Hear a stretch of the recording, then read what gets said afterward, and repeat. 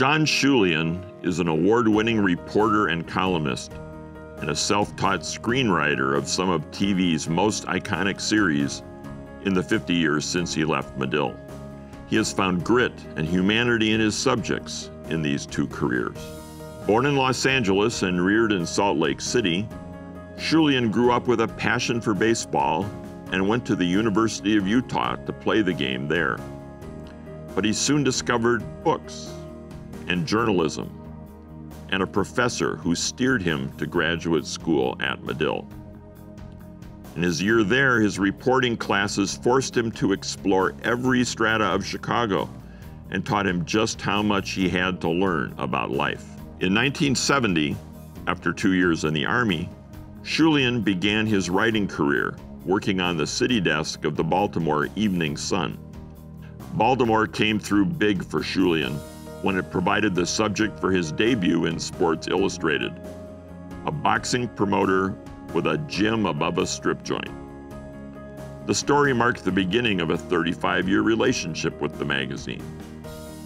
It established Schulian as someone who could capture the fast talkers and bruised and bloody dreamers of boxing. For decades, if Ali or Joe Louis or Sugar Ray Robinson was in the news, editors called John Schulian. The Baltimore boxing story led to a sports features position at the Washington Post. 18 months later, the sports editor from the Chicago Daily News offered Schulian his dream job as a sports columnist. When the Daily News folded, Schulian moved to the Chicago Sun-Times. His column was syndicated nationally, and he won a National Headliner Award and was twice named the country's top sports columnist. Schulian then took his column to the Philadelphia Daily News, but it was time for something new.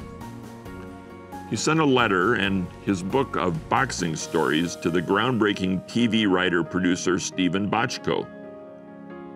To his surprise, Bochco offered him a tryout, a chance to write a script for a new series called LA Law.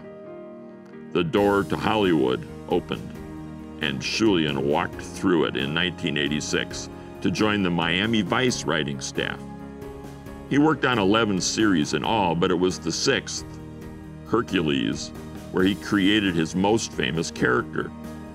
Schulian was the show's co executive producer, and his bosses asked him to write about a female warrior who wanted to vanquish Hercules.